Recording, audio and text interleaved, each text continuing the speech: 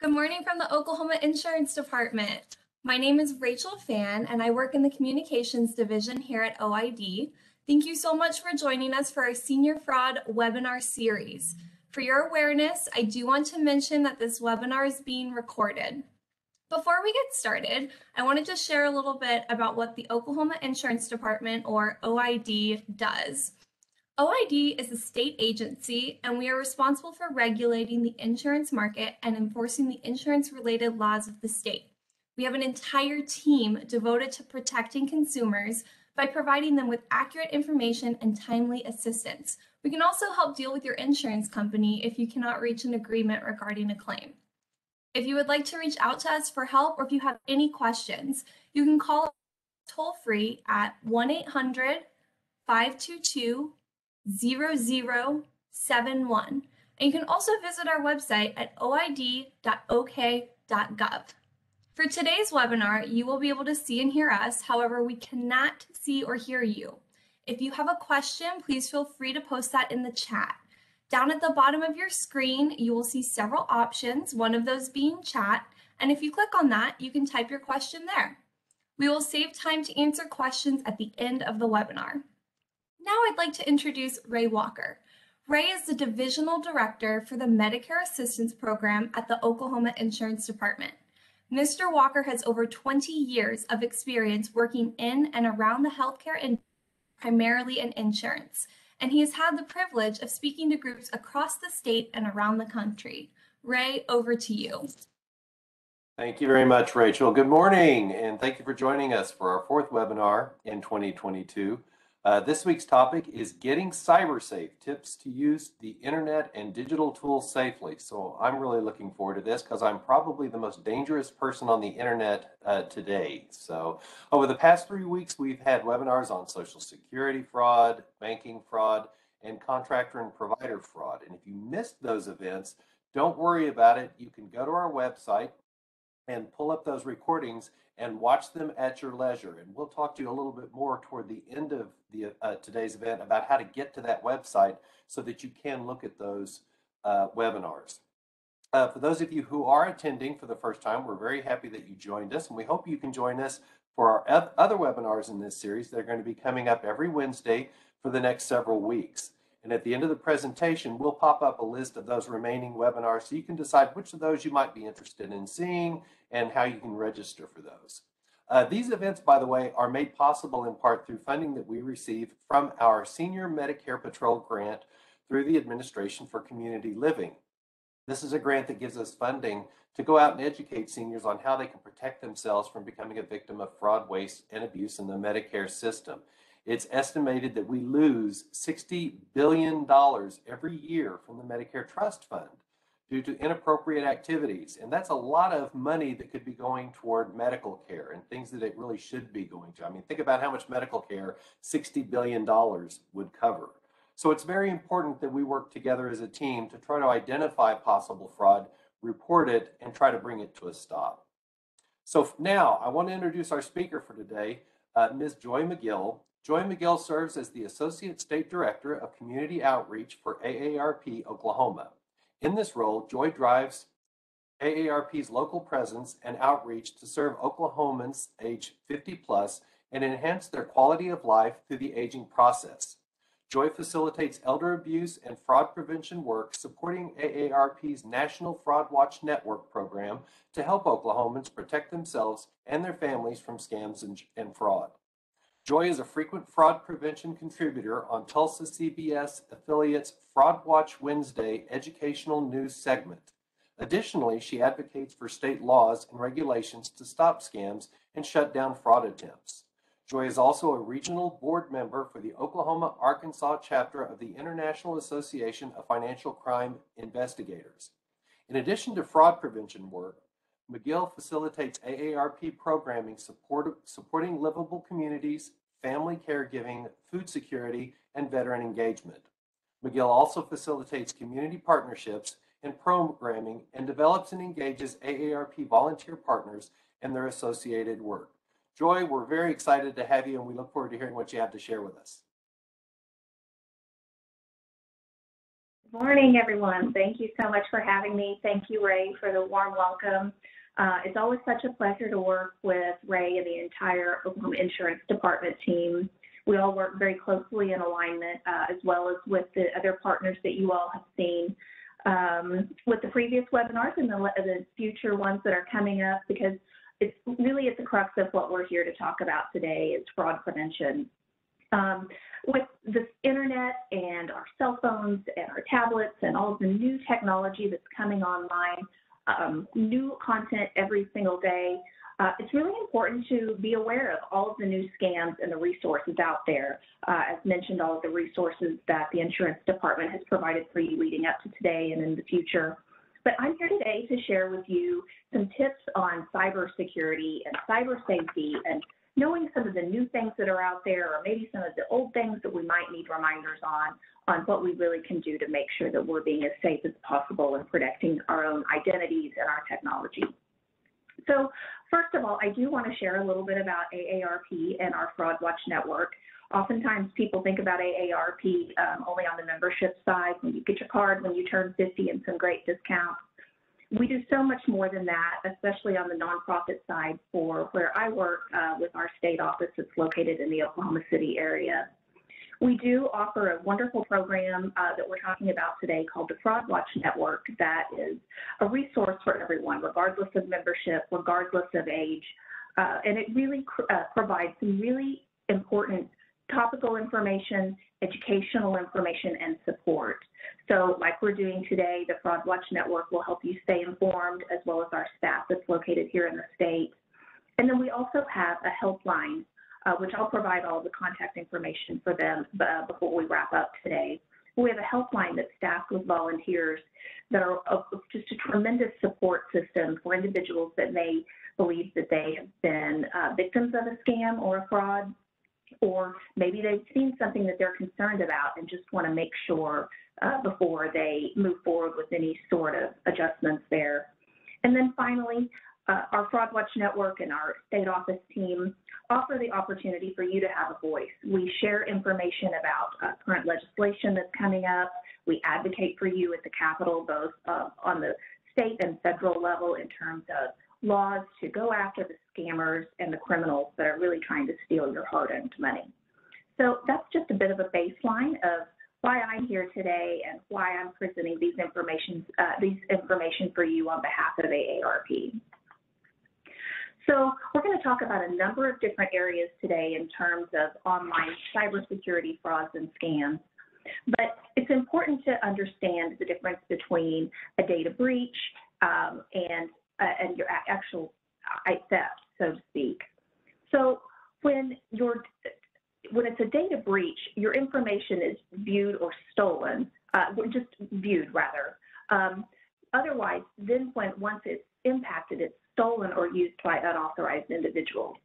So when you make it, you may subscribe to different products that provide resources in terms of um, information about if your if your password has turned up somewhere on a nefarious list or your email has been um, discovered uh, in the dark web, which we'll talk about briefly. That's a breach. But, but before they get to the point of tapping into your bank account or stealing your medical records or something like that, that becomes a whole different scenario of what the what the problem is that really impacts perhaps your credit, your bank account, or um, things like your Social Security or your Medicare. So we're going to watch a short video to show you a little bit about what social engineering is, to give you kind of a framework of how we get to the point that some of your information uh, from the online world gets stolen. So I invited a few of the world's best hackers to try to hack me and show me where my vulnerabilities are. And now I'm going to meet them in Las Vegas for DEF CON, the biggest hacker convention of the year. They're going to hack me using social engineering, which is essentially hacking without any code. They just use a phone and an internet connection. Do you want to do a sample vishing call? What's vishing? Vishing is voice solicitation, and basically um, what you do is you use the phone to extract information or data points that can be used in a later attack. Let's do it. Will okay. you? Who are you going to call? Maybe I'll call your cell phone provider and see if I can get them to give me your email address. I, I bet they're good. I bet they have my back. but yeah, go go for it. I'm gonna spoof from your number, so it's gonna look like it's calling from you. Okay. Hi, I'm actually I'm so sorry. Can you hear me okay? I my baby I'm sorry. my my husband's like we're about to apply for a loan and we just had a baby and he's like get this done by today. So I'm so sorry. I can't um, call you back. I'm trying to log into our account for uses information and I can't remember what email address we used to log the account. The baby's crying and um can, can you help me? Awesome. In just 30 At seconds, gmail.com. Jessica gets access to my personal email address. Now, if I needed to um, add our older daughter on our account so she could call in and make changes, how would I need to go about doing that? You would have to send me a secure PIN through a text message? Yeah. Well, the thing is, I don't think I'll be able to receive a text message if I'm on the phone. Oh, I'm not on there either? I, so I thought when we got married, um, he added me to the account. Jess uses my girlfriend's name and a fake social security number 5127. to set up her own personal access to my account. Wait, I'm sorry. So there's no password on my account right now? Can I set that up? She even gets the support person to change my password. Thank you so much for your help today. So she just basically blocked me out of my own account. I'll get her fed after this. All right, thank you. You're gonna have to go on and change your password now because it's Jess, my name. And all it took was a crying baby and a phone call. Yes.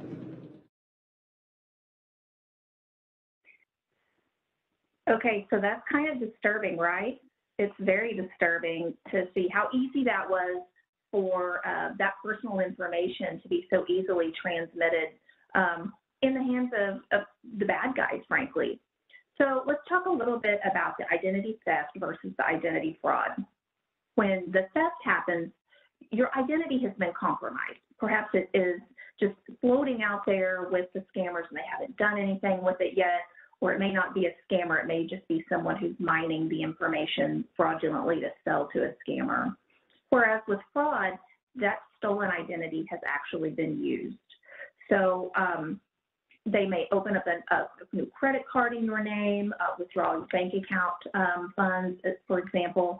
And so that's what happens once the fraud has been committed. When we see examples of what was in the video just now with the person who is uh, getting their information stolen, where does it go? What happens? So that is where the dark web comes in. And this is something that is, a, a, it sounds just as nefarious as it is, and dark web is a great term for it. So if you look at the graphic on your screen, the surface web is basically where good people like you and me visit every day. That's where we go to check our news, uh, weather sources, our email, maybe do a little bit of online shopping. It's the primary place that the good people utilize the internet, frankly.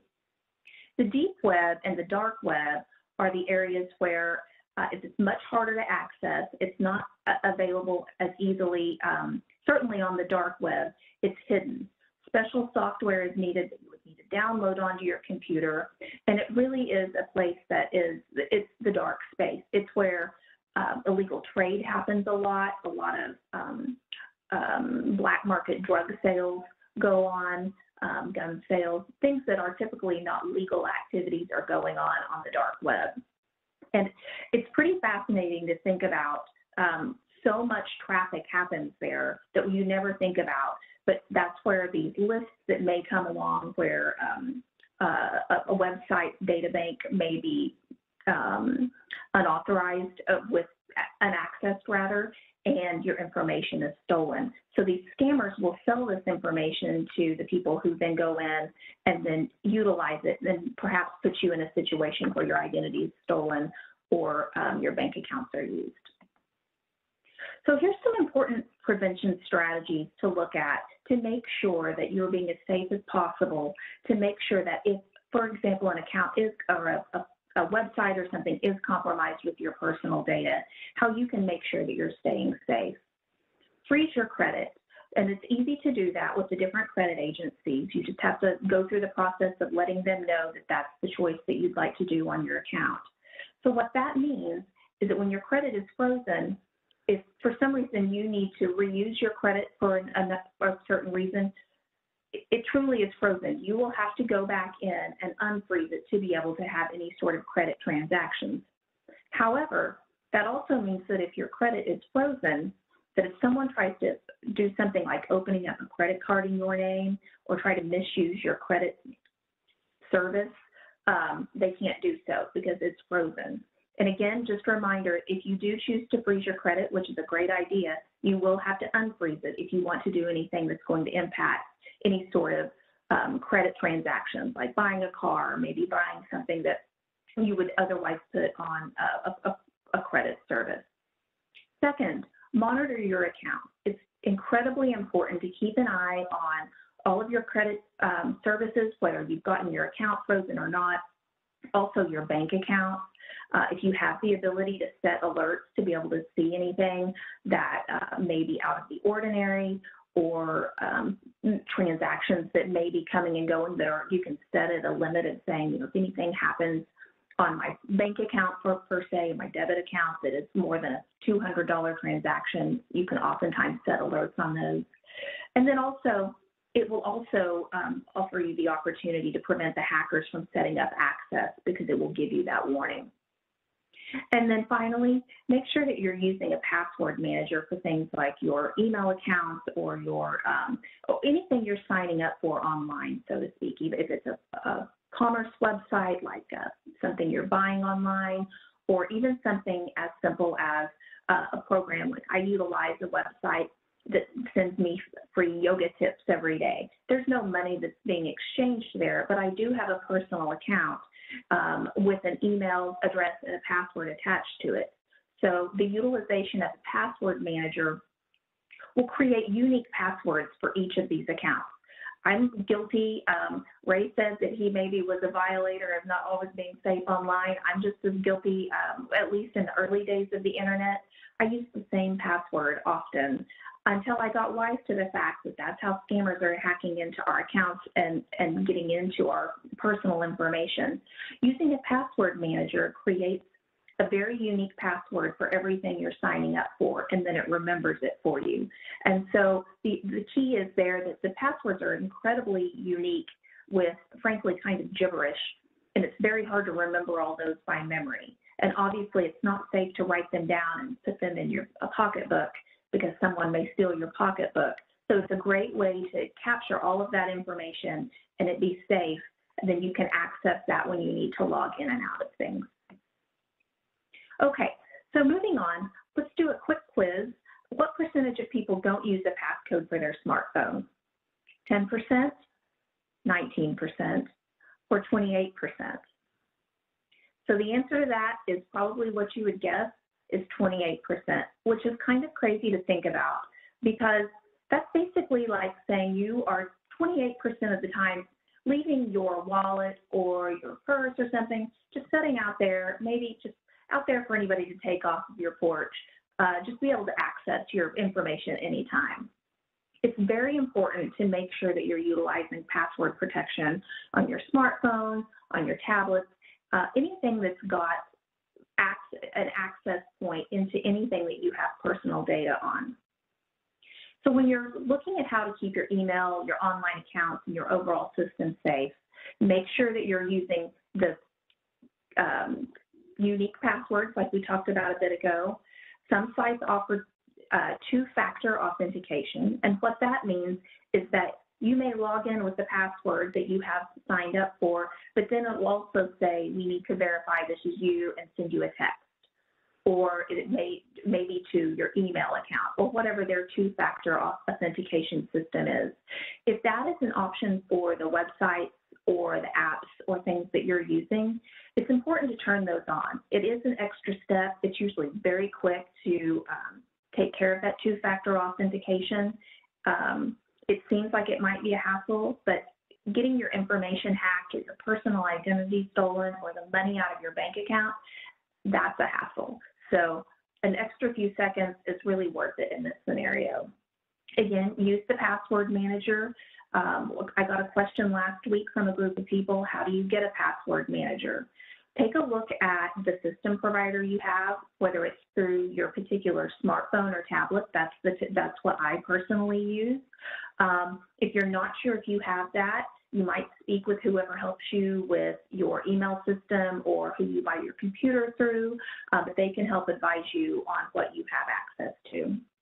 And then finally, on your computer or your smartphone, and even things like a, a printer in your home or your office that may have a Wi-Fi connection, if it's got an operation system, make sure you're keeping that up to date that's another one that does seem like it's a little bit of a hassle because you know it comes up from time to time. It's like, oh, I just updated it. It's going to take more time to. It's going to keep me from doing the things that I need to do from uh, day to day. It's really important to make sure that you're keeping those operation systems updated. Uh, typically, when these updates happen, there are security patches. When the systems are created, uh, the, the system creators do the best they can to make sure that there's not any holes that the scammers uh, and the hackers can get into. But with all scams, things continue to evolve, hacking continues to evolve, and they uh, these hackers are able to sometimes find these holes. So it's really important that when these um, system updates come along, it's important for you to keep it um, as updated as you on all of your tools. Okay, so another quiz. Which activity is safe to perform over a Wi-Fi public connection?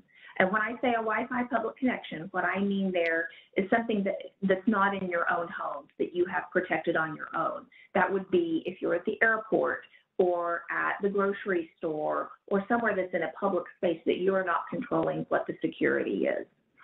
So is it safe to check the weather, to bank online, or to buy things? The answer to that is pretty easy to check the weather. That's the only thing that's not attached to any of your own personal information that maybe you haven't, you don't have any sort of identifiable information that's set up there. But unfortunately, that's really the only safe thing that you can do. The, the, you wouldn't realize that there are a lot of public Wi-Fi scams out there, and the hackers can get into these public Wi-Fi systems if they're not as protected as they, they really should be. It's really important don't access sensitive information over public Wi-Fi. That means, unfortunately, if you're sitting at the airport and need to check your bank account, you really need to do that on your, over your own personal data connection and not through the Wi-Fi that's being offered by the public um, entity. As you're looking uh, to log on to Wi-Fi, if you need to check the weather or to um, access the internet for the safe things, make sure that when you're accessing the different Wi-Fi options, you're verifying the true public network. I know that sometimes when I travel and I'm in airports, it'll pop up and say several different, what look to be legitimate uh, Wi-Fi connections for the airport, when it turns out that there's really only the one that is the official and hopefully the most likely protected site. So be diligent to make sure that you really are signing on to a Wi-Fi that you want to before you um, hit, the, hit that confirm button. And then finally, in your own home Wi-Fi, make sure that you have that secure. Make sure that you're using a password. Oftentimes the password is already created for you. Uh, I know in my own home, the password was created and it's on the bottom of the, um, of the Wi-Fi unit. Um, I chose not to change it because it was a pretty complex password when I got it, but you are also able to go into the system and change it to a password that you would prefer if that's what you would like. Okay, let's talk a bit about scam alert and tech safety. We talked a little bit about making sure that your operating systems are updated. Um, but one of the things that can happen is that you get a, a pop-up all of a sudden on your computer that says virus alert or uh, there's a technical problem with your particular operating system. Typically, it's used in a, in a way uh, that it, comes across as being very urgent, like your, your system's going to crash, the world is about to end, you have to take action now. And what happens there when these scammers do that is that what we call getting under the ether. They create a situation that creates a high level of anxiety or action of importance right then and there. In this particular scenario, you may get the pop-up or you may get a telephone call from someone representing themselves from uh, your internet service provider or your computer um, maker. And what they're, so what they'll say is, um, you know, we, we see this problem with your computer. You've got a virus, you've got a major system issue. We just need for you to provide us remote access to your computer and we'll go in and fix it so you can go on with your day. And oftentimes they represent themselves as the service provider. They will say, hi, I'm Joe from Microsoft. Um, I, you know, I see that you have this problem and we're going to help you fix this today. If this happens, it's very, very likely a scam. This is one of the largest scams that are reported out there in terms of technology. And what happens is when they when you allow them to remote access into your computer, again, it's sort of like my scenario of just leaving your purse setting out in the open for anyone to take. They're basically going into your computer, often putting nasty bugs in there that can take over your whole system, disable the system, give, and it gives them access to anything that you have utilized uh, to do your online banking or your email or any of your personal private data. And then it may also just totally crash your system, which is also a significant issue. So here's what you should do. Anytime you get someone that calls or if you get a strange pop-up, do not give access to your computer. Again, make sure that you've got your software updated. Uh, make sure that you've got your antivirus scan running to make sure that you don't have any of these things that are getting um, injected into your computer on the back end that you're unaware of. Certainly, if something like this happens, make sure that you contact your bank. Uh, if, if, you, if your information has been stolen, uh, again, anytime that you have any banking information that may be compromised, you are safer on the transaction with credit card companies because they can reverse some of those charges. Um, with debit card transactions, that's a lot tougher, but make sure that you contact your financial institution to see, to A, let them know that this, this situation has happened uh, and to possibly freeze your account and then see what uh, remediation you may be able to have. And then, of course, as we talked about a little earlier, the Fraud Watch Network helpline offers tremendous guidance and support on next steps for you um, and if this happens. All right, let's talk about one of the other areas that feels like it's the thing that infiltrates all of our email boxes, our text messages on our phones every day. It's these uh, scam and spam emails or spam texts. This is a screenshot I just wanted you all to see of, of the junk mail or the spam box uh, of an email account that I have. And if you look through this, there's a lot of red flags, and we're going to go into a couple of other screens to show you just a few more more detailed red flags and things that you should look at. But a lot of this, just at a glance, things are just don't seem quite right. They're not personalized. Um, legitimate organizations and, and online services that send you emails that you've signed up for, they they do a good job of making sure that things are personalized, whereas with things like what you're seeing on the screen, it just is all it's just all junk, and you can see that it looks like junk. So here's a couple of closer looks. Let's look at the warning signs here. So on the email here on the on uh, the left that says, hello, Joy McGill, we need to confirm your info. I wouldn't typically even open this email for a number of reasons, but for the purpose of showing you this today, um, you see that there are some real red flags. There's a lot of typos.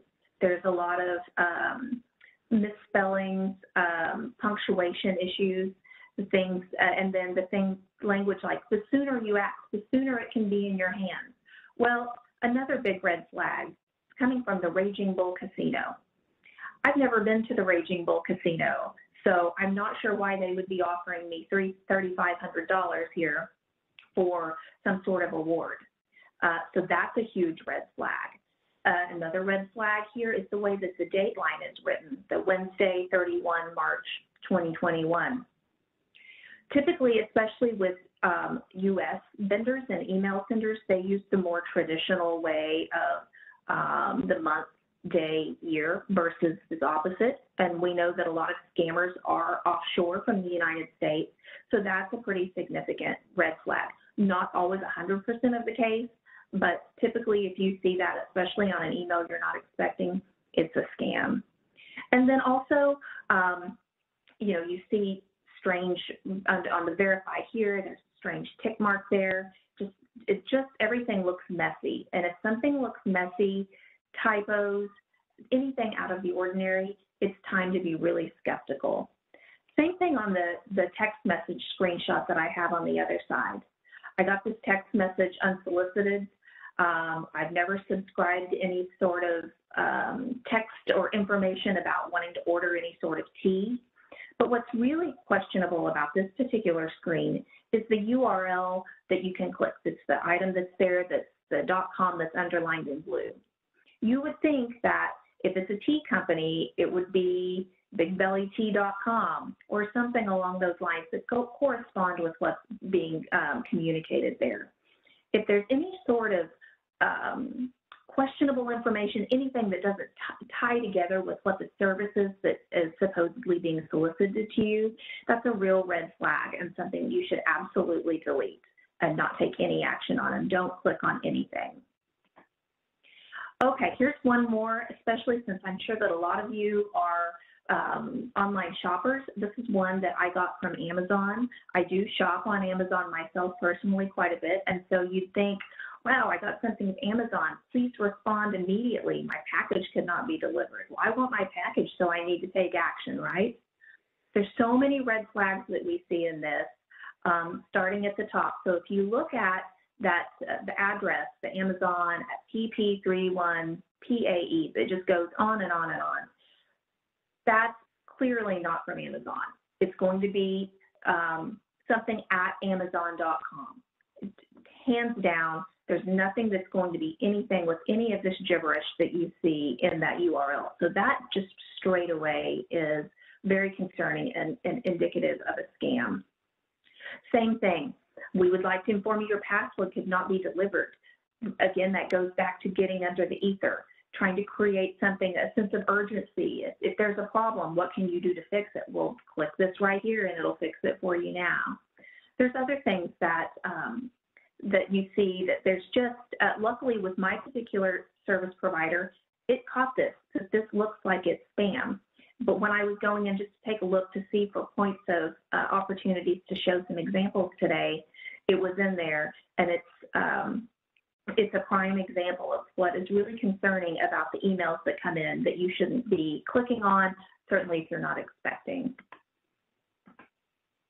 Uh, one thing I did want to mention before we move on to a, another few tips, especially related to the text scams and the phone scams that are out there. There's two different um, bills going on in the Oklahoma legislature right now, House Bill 1891 and 3168, which are both um, actively working to combat phone and text scammers uh, and, and, unauthorized robocalls or these calls that you uh, probably have gotten today. I know that I got two yesterday telling me that my car warranty had expired. Those are examples of some of, the things that these bills are, are working to eliminate. Uh, if this is something you're interested in and you'd like to share with your lawmakers that you uh, would like for them to take action and support these bills, you can go to the URL that's on your screen there, action.aarp.org forward slash stop fraud. Uh, and that will give you an opportunity to make your voice heard and let your lawmakers know that you are also tired of getting these scam, text scams, phone scams, uh, and then these robocall scams, and you'd like for them to take action. Okay, so how do you protect yourself? Uh, keep your phone safe, keep your email safe, etc. Only open the emails from trusted sources. Um, and for me, you know, I, I, talked about that email a, moment ago that came from a retailer. Um, I expect to be getting emails from them, but I also expect that, that I have to make sure and be very diligent that it's actually coming from that trusted source. If you have a question, you're not sure if something's a scam or not, share it with a friend or a family member. Uh, tell them what you've gotten, talk through the scenario and see if they feel like there's any red flags. Of course, you can call the Fraud Watch Network helpline and share with them over the phone what you're seeing. They'll be able to help you as well. But use uh, your friends and your resources to to find out uh, if something if something doesn't quite look right. Maybe they can help you decipher that.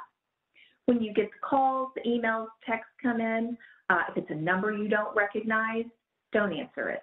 If it's someone that really needs to speak with you, they'll leave you a message. Same thing with an email or a text. If it's someone that needs something from you uh, and it's someone you know, you can check in with them and see what they need exactly. If you're getting texts uh, that you didn't sign up for, just delete them. Um, it's, it's, that's one of the hallmark scams. Uh, even organizations that are legitimate that may have gotten a hold of your number and put you on some sort of list that you didn't sign up for, it's great to just delete those, move on. Don't interact with them, don't click. Um, even you can go on, if something comes in that you think it might be pertinent to you, you might do a quick search on your internet uh, to see if there other people are experiencing those scams. And then finally, just, just don't interact. Don't click or respond to anything that looks strange or anything that's unexpected. And another thing that I might mention in terms of um, things that are coming from trusted sources Unfortunately, the hackers have gotten really smart and sometimes they can get into our emails and then send emails that look, that access our contact list that look legitimate. Uh, if you get an email from someone that you know that you're not expecting for you to click on a link or to access uh, something like a, a, a Dropbox type drive or something like that, it's really important not to click that because there may be something nefarious on the back end of that link. Uh, call your friend, call whoever it is. Um, don't, I would not respond directly to the email. I would create a new email if you're wanting to email them um, because there may be something in that, in that particular email that may be um, scammy. Okay, one of the things that I wanted to also show in terms of some examples of scam things that look very legitimate is this Facebook page for logging in. If somehow you get a text saying you, know, you need to log into your Facebook account to um, access your uh, updated information or something along the lines, uh, and it's not quite right, this is an example of one of the landing pages that is a scam, uh, a Facebook scam. Again, if you look at it, for the most part, everything looks exactly correct. The Facebook logo is correct. The typical boxes and login information is all exactly the same. The colors are the same. Even the fonts are the same that Facebook uses. But if you look up in the URL up there by where the red arrow is, and I made it a little bigger down at the bottom, that should be facebook.com forward slash login or something along those lines. Instead, it's some sort of scammy URL that had classic.solardiamond.com. And so it's clear if you click on that and you enter any, any of your information into there, it's really not going to Facebook. It's going to somewhere that's a scam. And so if somehow you end up accessing something like this, that's a great spot to look, starting at the URL there. Uh, that's really important to do that, especially if you're providing any sort of login information. And so a little further, a couple additional things in terms of cyber safety, uh, especially if you're interacting with um, social networking sites like Facebook. Um, but if Facebook has the option called Messenger, many of you um, probably use that if you're Facebook users. That's been a real significant issue in terms of fraudulent information, scammers that um, send you messages through Facebook and they find you from a number of different avenues. Maybe that you see some a friend of yours that says they've gotten hacked and then all of a sudden you're getting messages from someone that you don't know. It's very important to recognize that Facebook messaging is just ripe with scammers. It may be someone that, in the instance of this particular situation, is saying that there, you have cash that you need to un, uh, that is unclaimed, that is enti- you're entitled to get. It may be someone that is uh, being friendly and starting to try to create conversations with you to offer friendship or companionship, but you don't know them.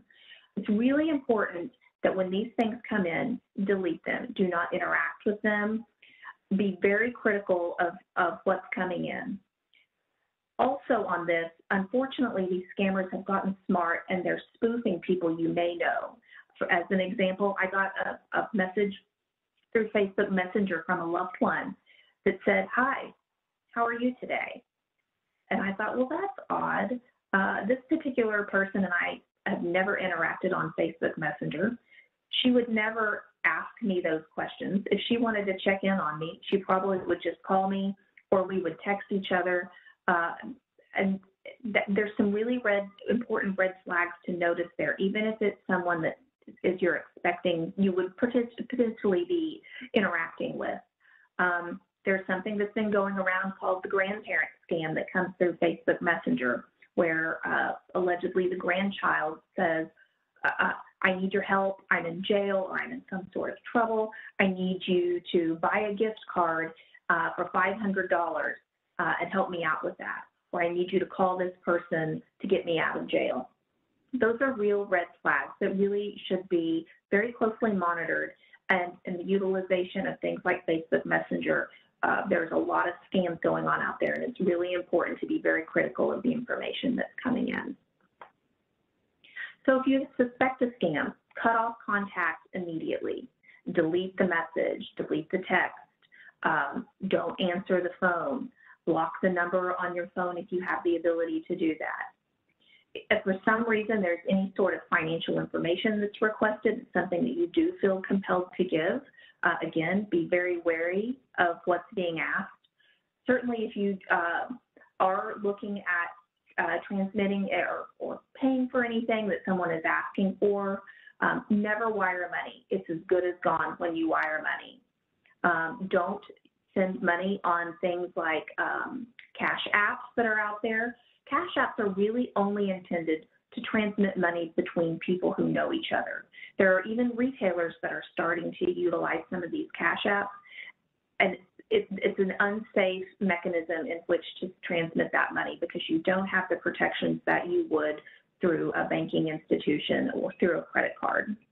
And then again, we talked briefly about the gift card scams that are out there. Uh, gift cards are one of the most um, substantial ways that scammers are asking for money. And that basically it's the same thing with wiring money, uh, and even worse, that once you share perhaps the PIN number for the, the uh, gift card that you've purchased to pay for whatever's being asked for, that money is gone and there's no restitution for you to get that back. And then finally, again, you're always welcome to contact us at the AARP Fraud Watch helpline, uh, 877 908 3360 is that phone number. That's toll free. And as I mentioned earlier, the Fraud Watch Network services, the Fraud Watch Network helpline is free of charge to anyone to use, whether you're an AARP member, whether you're AARP age, it's free of charge for anyone. Okay, a couple of quick Facebook fakes that I just wanted to share, especially as it relates to a lot of the news that we've been all seeing related to Ukraine and Russia. These are a couple of images that were used with um, news stories, alleged news stories that were fake news, uh, talking about the different uh, some different areas in the in the conflict over in the Ukraine. And it turns out that the gentleman in this picture is not named Vladimir at all. That's who who uh, this news story said. And with a reverse image search on Facebook, it shows that someone stole this person's picture and fabricated it. And if you look where it's circled, they uh, they cut off part of his ear. And um, one of my uh, colleagues yesterday said, you know, he kind of looks like he got in a fight with Mike Tyson there, but really his ear has been trimmed off some in part of that fake news. And then same thing with Irina there. Same situation, someone stole her photo um, to utilize with a fake news story that uh, had a, a, an agenda that was not accurate to what was being reported. She's, she's missing an earring. Her ears are uneven. There's some real red flags there as you start looking at um, news stories as you're digesting them on social media through Facebook or Twitter or the different online um, apps and sites. So it's really important to be aware of what you're reading to make sure that you're getting accurate information and you're getting correct and true information. When you're looking through to make sure that you're getting the safest information or the most correct and legitimate information, look at everything with a critical eye. Listen to your intuition. Uh, again, find the first use of photos through, there are several internet tools if something doesn't seem quite right to make sure that it's reputable. And then finally, follow reputable media sites for your information. Oftentimes the things that you're seeing on social media, it may look legit, it may use the words that you feel like should be legit, or it may align with maybe some personal beliefs of yours. Um, unfortunately, the, on all sides, there are fake information sites out there, fake information feeds that are um, injecting into the different social media sites that we use. Make sure that you're using some of your local news sources that you trust. Uh, one of my favorite things that Tulsa World has started just recently um, is that they do a fact or fiction segment uh, periodically that will talk about fake news of the week, and then they will set the record straight uh, of the of the correct and verified information to debunk what may be fake. Uh, just some final protection tips and a recap.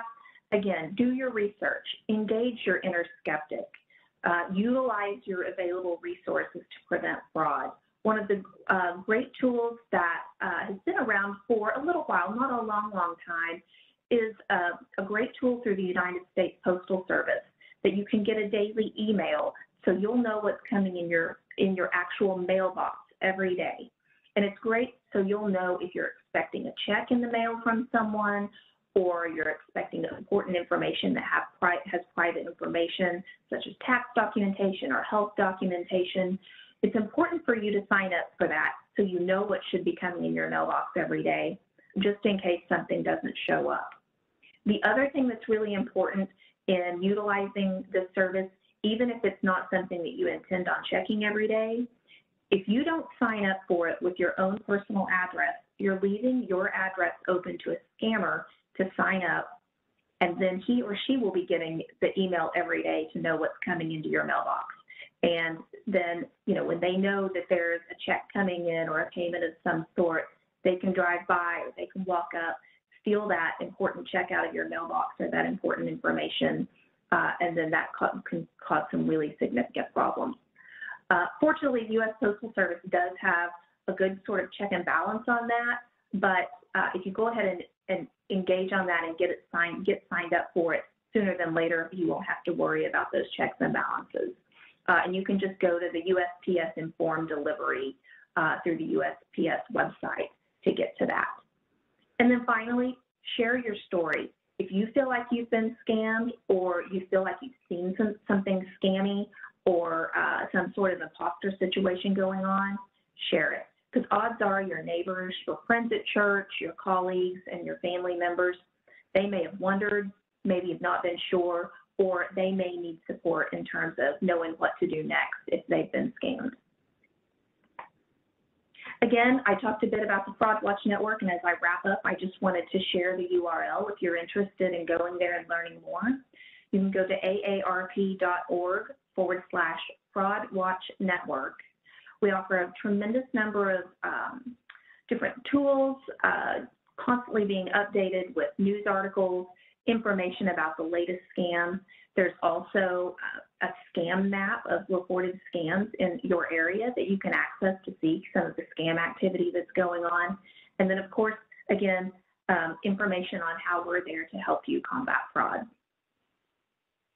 All right, so closing thoughts today, arm yourself with help. If you're unsure if it's a scam or if you feel like you might be victimized, absolutely call the Fraud Watch Network. Our volunteers are wonderful and trained uh, and available to help you. And then we encourage you to visit the AARP Fraud Watch Network site uh, to utilize all of the resources that are there for you. Uh, and then who doesn't want their own fraud watchdog? That's Jill McGill, my sweet rescue dog helping me fold t-shirts. And so nothing but a smile. I know we've talked about some dark things today and some scary things, uh, but Jill McGill's there to show her sweet face and um, give you light that uh, we're out there and there's watchdogs out there for you. All right, and with that, I think that Ray and I are here to answer some questions and answers. Yes, thank you, Jill. Uh, seriously, folks, I want to encourage you anytime you suspect fraud, reach out to that Fraud Watch Network because not only can they help you uh, you know discuss with you what you think may be potential fraud but they take that data and they are tracking and trending that they're they're getting it out there so that people are aware across the country about these uh, potential uh, scams that are taking place and that may be the only message that some people get to protect themselves so please take the time to do that uh, i'm always i've seen that video that you showed before uh, of this. For one thing, you know, the, the a hackers convention. I mean, is there law enforcement there to say, "Hi, welcome," and now join me in the squad car? Um, I'm always fascinated whenever I see that because this woman looks completely. This woman could be you, Joy. Uh, she looks completely normal. She doesn't sound different. She has no accent or anything that might, you know, tip you to something. She looks like a mom. And yet, these are the kind of people that are making these calls and they're utilizing tools on the internet, like a crying baby or some other sound effect to, to get you to that point.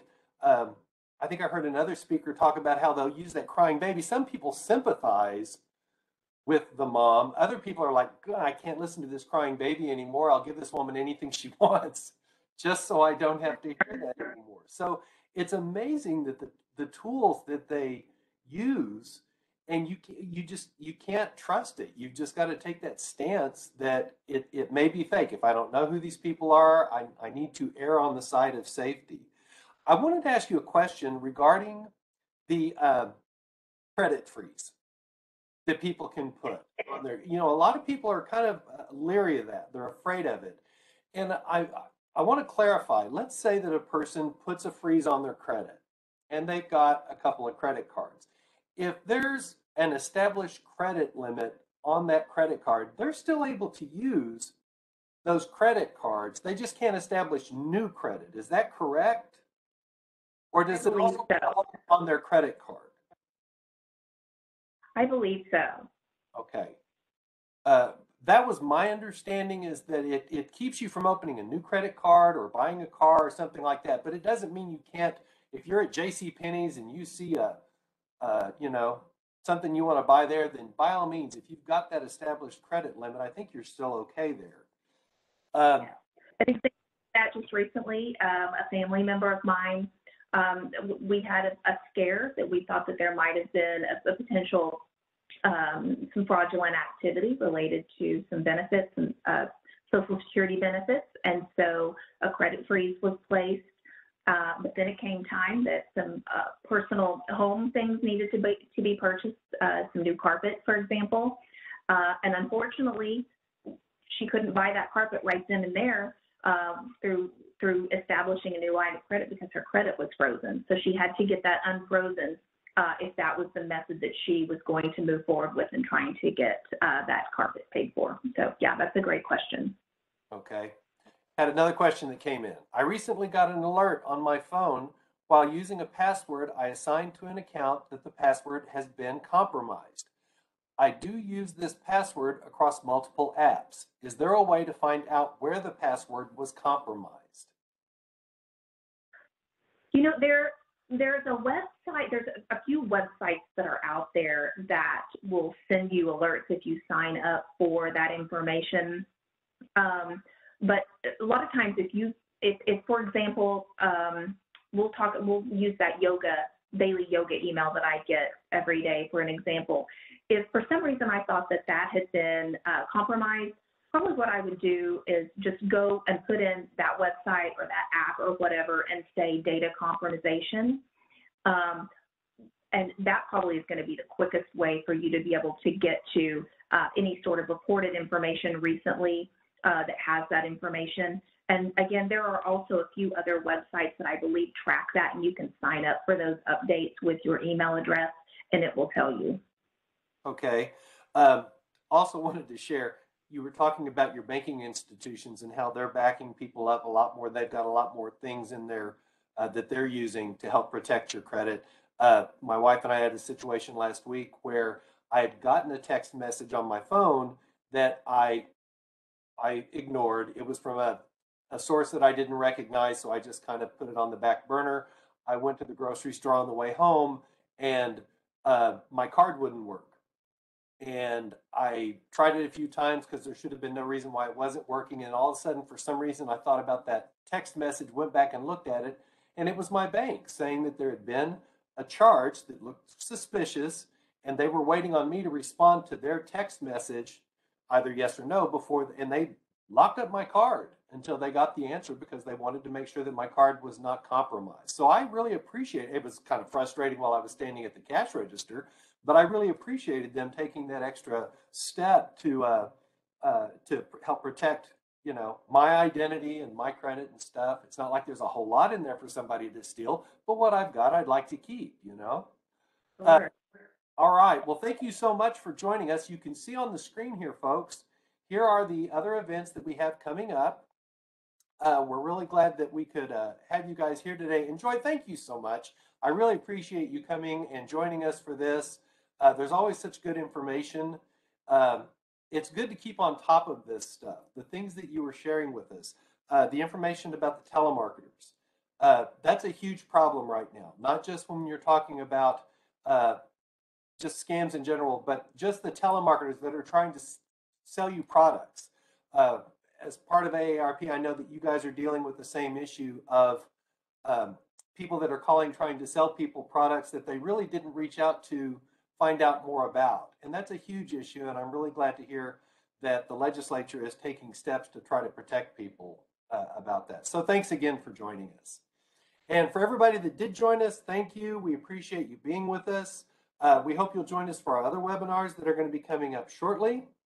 Uh, if you haven't registered for those, you can go to our website at oid.ok.gov uh, forward slash senior fraud and register for the upcoming events. The next one, next Wednesday at 10 a.m., is going to be Jennifer Shaw. She's one of the attorneys with the Oklahoma Department of Securities, and she's going to be talking about protecting your investments. So we hope you'll join us for that. Also, don't forget, if you would like to listen to a recording of today's event or the uh, past three events that we've done, those recordings are available on the same uh, website where you registered for this event. So again, you can go to oid.ok.gov forward slash senior fraud to listen to those uh, recordings. And one last time, I want to put in a plug. If you do suspect fraud of any kind, please report it. Uh, we can stand up here and talk all day long about the ways fraud is impacting people and the different kinds of fraud that we're seeing. But unless you, as the consumer, take the time to reach out to someone to report that fraud, it doesn't do us any good and we can't do anything about this problem. So please play your part in fighting this problem. So, with that, I will say good day and hope everyone has a great week. Bye bye.